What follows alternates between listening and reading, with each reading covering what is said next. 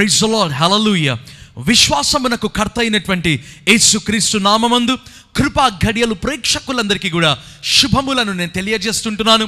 ఈ Joseph Prasanna Kumar YouTube ఛానల్లో ప్రతిరోజు దేవుడు మీకు అందిస్తున్నటువంటి ఆత్మీయమైనటువంటి ఆహారమును బట్టి ప్రతిరోజు కూడా దేవుని యొక్క వాక్యమును మీకు అందించుటకు ఆయన నాకు ఇచ్చినటువంటి కృపను బట్టి సమస్త మహిమ ఘనత ప్రభావములు యేసుక్రీస్తు నామమునికే కలుగును గాక ఆమెన్.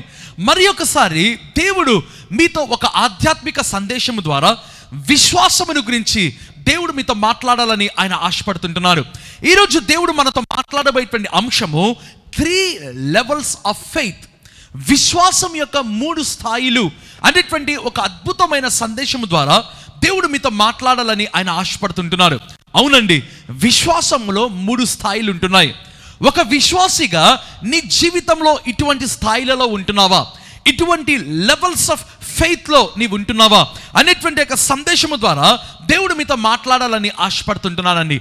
నీవు ఏ విధంగా విశ్వాసము చేత నింపబడగలవు?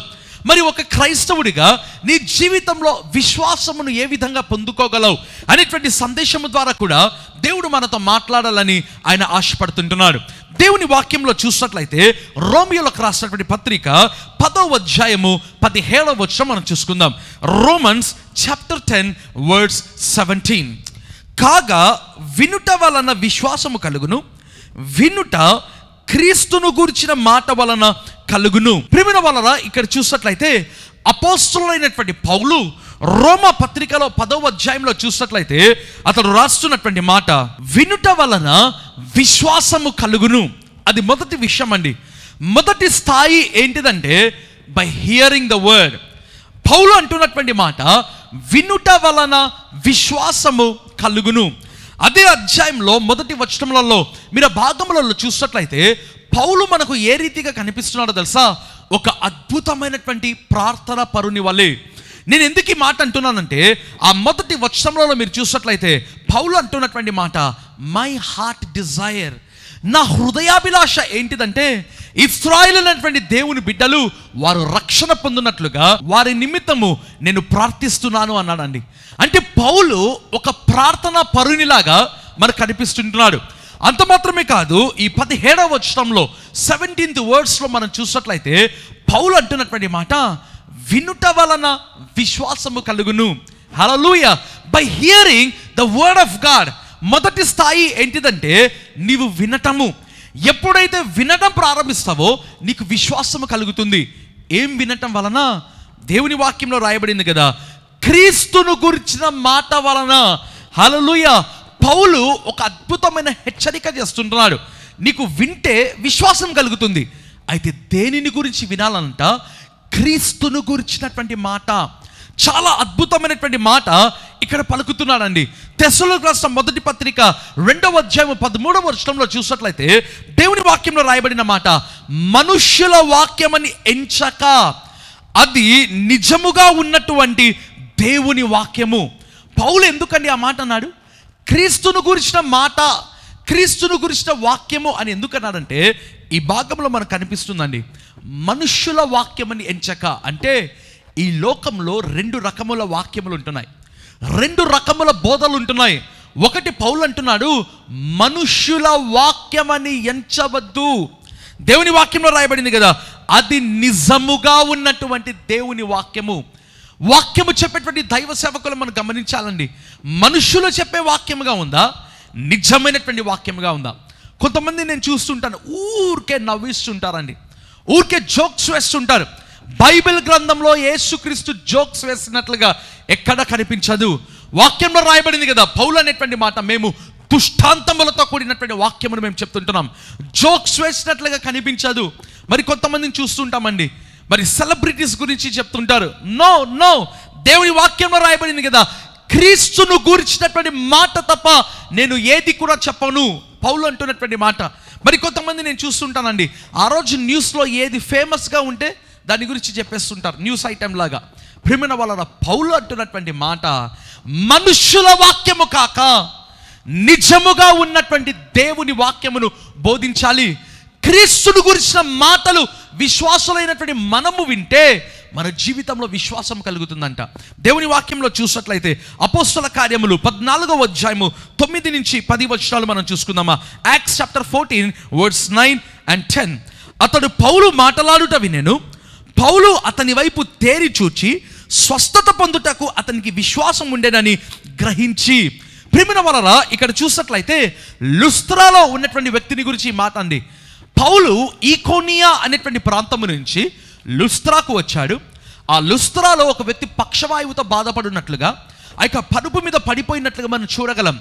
అయితే వాక్యంలో రాయబడినటువంటి మాట ఆ వ్యక్తి పౌలు మాట్లాడుట విని సీ ద వర్డ్ పౌలు మాటలాడుట వినను. మొదటి విషయం అండి రెండవదిగా పౌలు అతని వైపు తేరి చూశాడంట.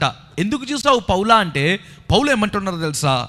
అతనికి విశ్వాసం ఉండేనని గ్రహించి. ఎందుకండి పక్షవాయువు కలిగిన వాని వ్యక్తికి విశ్వాసం వచ్చింది? బైబిల్లో రాయబడింది కదా అతడు పౌలు మాటలాడుట వినెను. హాలూయ ఒక దైవ సేవకుడు నిజమైనటువంటి సేవకుడు మాట్లాడేటువంటి మాటలు మనం వినినట్లయితే మనకు విశ్వాసం వస్తుందంట. పౌలు మాట్లాడుతున్నటువంటి వాటలు ఎటువంటివో తెలుసా? వాక్యంలో రాయబడి ఉంటుంది విశ్వాసము వాక్యము కృపా వాక్యము. విశ్వాసము వాక్యము మాట్లాడుతున్నాడంట. ఆ తర్వాత ఆ వ్యక్తి స్వస్థత పొందినట్లుగా మనం చూడగలమండి. అంటే నేను చెప్పాలనుకున్నటువంటి మాట if you hear the word you will be filled with faith మొదటి స్థాయి అండి. నీవు విశ్వాసము చేత నింపబడితే నీవు వాక్యము విన్నట్లయితే నీకు విశ్వాసం వస్తుంది. రెండవ స్థాయిలో వెళ్దామా? దేవుని వాక్యంలో చూసినట్లయితే Hebrews chapter four and words two హెబ్రిలకు రాసిన పత్రిక నాలుగవ అధ్యాయము రెండవ వచనం. వారికి ప్రకటింపబడినట్లు మనకు సువార్త ప్రకటింపబడెను. కానీ వారు వినిన వారితో విశ్వాసము కలిగిన వారై కలిసి ఉండలేదు. గనుక వాక్యము వారికి నిష్ప్రయోజనమైనదాయను. పౌలు ఇక్కడ చూసినట్లయితే హెబ్రి పత్రికలో అంటున్నటువంటి మాట వాక్యము వారికి నిష్ప్రయోజనకరమాయను. ఎంత బాధకరమైన మాట అండి. Word became unprofitable to them వాక్యము ఎప్పటికీ కూడా నిష్ప్రయోజకరము కాదు. అయితే వారికి నిష్ప్రయోజనకరముగా మారిపోయిందంట. ఇట్ బికేమ్ అన్ప్రాఫిటబుల్ ఎవరండి వారు? దేవుని వాక్యంలో చూసినట్లయితే ఆ యొక్క అదే పత్రికలో మూడవ అధ్యాయం తొమ్మిదవ వర్షంలో చూసినట్లయితే ఆ మాట రాయబడి ఉంటుంది. ఎవరంట వాళ్ళు? నలుబది సంవత్సరములు నా కార్యములను చూచి వారు నన్ను పరీక్షించి శోధించిరి వారు విశ్రాంతిలో ప్రవేశింపలేదు. అంటే కణానులో వారు ప్రవేశింపలేదు. వారు అంటే ఎవరంట? మోషే కాలంలో నలభై సంవత్సరములు అరణ్యంలో ప్రయాణించారు కదా. వారు దేవుని కార్యములను చూశారంట.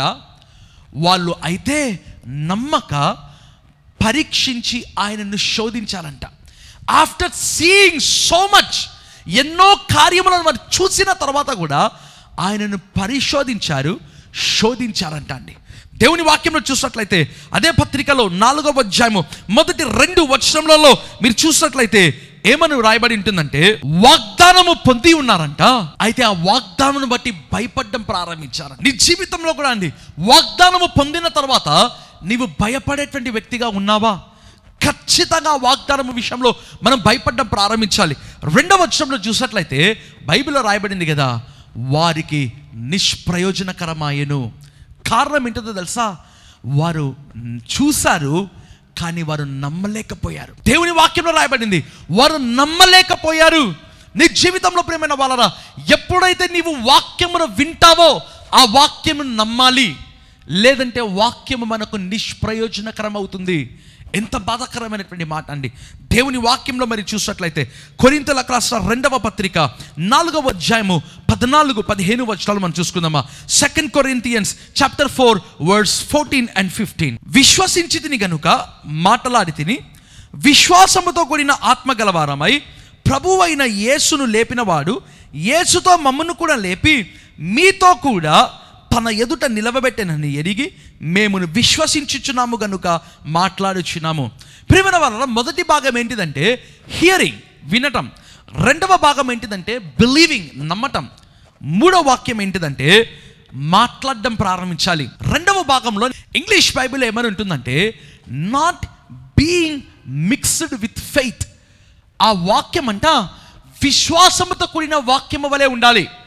ఆ వాక్యము నీవు వినినట్లయితే నీవు నమ్మడం ప్రారంభిస్తావు. సరే మూడవ భాగంలోకి వస్తామండి. ఏంటిదంటే ఇక్కడ రాయబడినటువంటి మాట విశ్వసించితిమి కనుక మేము మాట్లాడితిమి. మొదటిగా మనము వినాలి రెండవదిగా నమ్మాలి మూడవదిగా మాట్లాడాలి.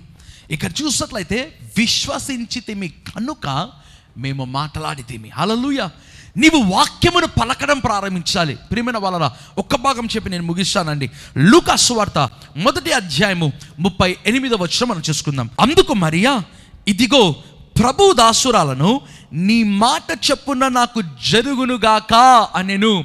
ఇక్కడ చూసినట్లయితే కన్య అయినటువంటి మరియను గురించి మనం చూస్తున్నామండి. బైబిల్లో రాయబడింది దేవదూత వచ్చి ఆ యొక్క మరియను చూసి అన్నటువంటి మాట ఇదిగో అమ్మా నీవు గర్భము దాల్చబోతున్నావు. మరి అన్నటువంటి మాట నేను పురుషుని ఎరుగని దానిని ఇది నాకు ఎలాగ సంభవించను? దేవదూత అన్నటువంటి మాట పరిశుద్ధాత్మ శక్తి నిన్ను కమ్ముకొను నీవు గర్భము దాల్చదు అమ్మా అన్నాడు. మనకు అందరికీ కూడా తెలుసండి.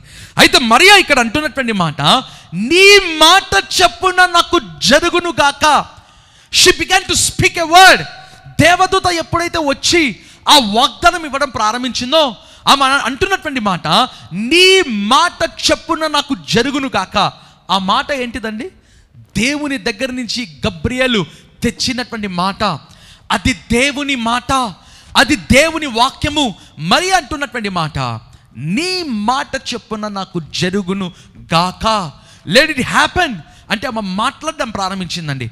అందుకే వ్రాయబడింది కదా లూకాసు వార్త మొదటి అధ్యాయం నలభై ఐదో వచ్చంలో చూసినట్లయితే ఏమని ఉందో తెలుసా? ప్రభువు ఆమెకు తెలియజేయించిన మాటలు సిద్ధించు గనుక నమ్మిన ఆమె ధన్యురాలాయను అలలుయ ఆ మరియ ధన్యురాలంట. కారణం ఏంటిది? ఆమె నమ్మడం ప్రారంభించింది. అలలుయ వాక్యంలో రాయబడింది కదా నమ్మిన ఆమె ధన్యురాలు. నీ జీవితంలో వాక్యమును ఉన్నది ఉన్నట్టుగా నీవు నమ్మగలిగితే నీవు ధన్యుడవు ధన్యురాలవు. మొదటిగా hear the word of God second thing believe in the word of God third thing speak the word of God ఈ మూడు విషయములండి ఈ త్రీ లెవెల్స్ ఆఫ్ ఫెయిత్లో నీవు ఉన్నావా ఈరోజు దేవుడు నీతో మాట్లాడుతుండగా మీ మీదకి విశ్వాసము ఆత్మ వచ్చినట్లుగా నేను ప్రార్థన చేస్తాను.